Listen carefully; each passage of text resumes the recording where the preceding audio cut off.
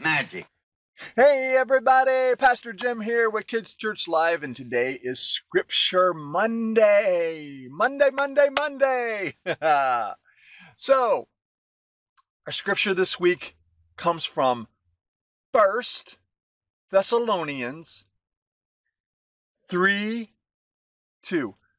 First Thessalonians chapter 3, verse 2.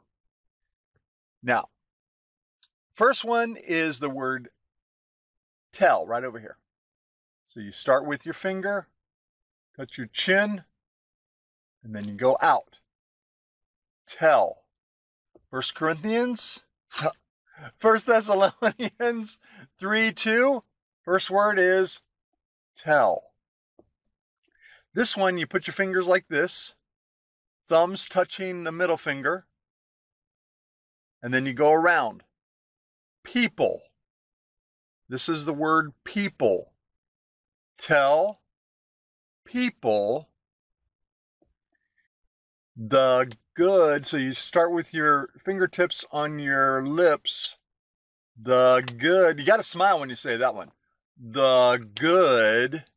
So 1 Thessalonians 3 2 says, Tell the people the good. The good what? Tell people the good. I know what. Put your fing- for- fingertips on your forehead and then go up and to the left. I can't go up to it because I'm in the car. Good news. Good news. Good news.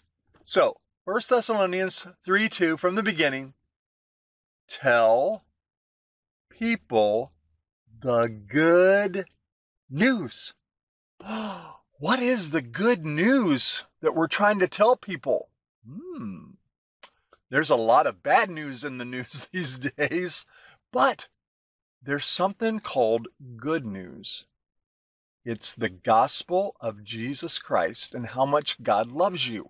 That's the good news. And it's always good to hear good news. I've heard a lot of good news in my days. I remember the first time Miss Kim, many, many, many, many years ago, I was away on a business trip.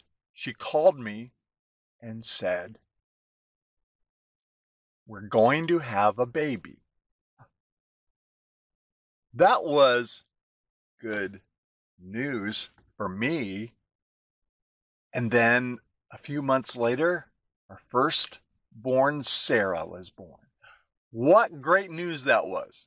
So, 1 Thessalonians 3 2 from the beginning tell people the good news.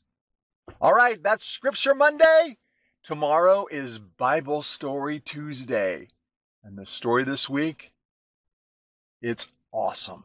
All right, have a great rest of the day. We'll talk to you later. Pastor Jim, out. Bye.